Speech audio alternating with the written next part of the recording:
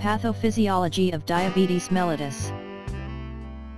Insulin is the principal hormone that regulates the uptake of glucose from the blood into most cells of the body, especially liver, adipose tissue, and muscle, except smooth muscle, in which insulin acts via the IGF-1. Therefore, deficiency of insulin or the insensitivity of its receptors plays a central role in all forms of diabetes mellitus. The body obtains glucose from three main places, the intestinal absorption of food, the breakdown of glycogen, the storage form of glucose found in the liver, and gluconeogenesis, the generation of glucose from non-carbohydrate substrates in the body.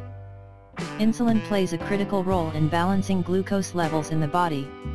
Insulin can inhibit the breakdown of glycogen or the process of gluconeogenesis, it can stimulate the transport of glucose into fat and muscle cells, and it can stimulate the storage of glucose in the form of glycogen. Insulin is released into the blood by beta cells, found in the islets of Langerhans in the pancreas, in response to rising levels of blood glucose, typically after eating.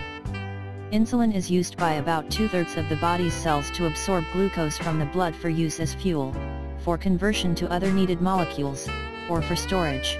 Lower glucose levels result in decreased insulin release from the beta cells and in the breakdown of glycogen to glucose. This process is mainly controlled by the hormone glucagon, which acts in the opposite manner to insulin.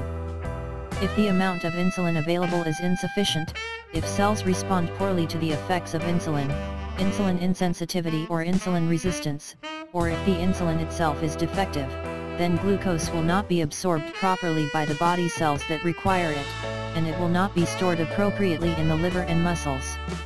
The net effect is persistently high levels of blood glucose, poor protein synthesis, and other metabolic derangements, such as acidosis. When the glucose concentration in the blood remains high over time, the kidneys will reach a threshold of reabsorption, and glucose will be excreted in the urine, glycosuria. This increases the osmotic pressure of the urine and inhibits reabsorption of water by the kidney, resulting in increased urine production, polyuria, and increased fluid loss. Lost blood volume will be replaced osmotically from water held in body cells and other body compartments, causing dehydration and increased thirst, polydipsia.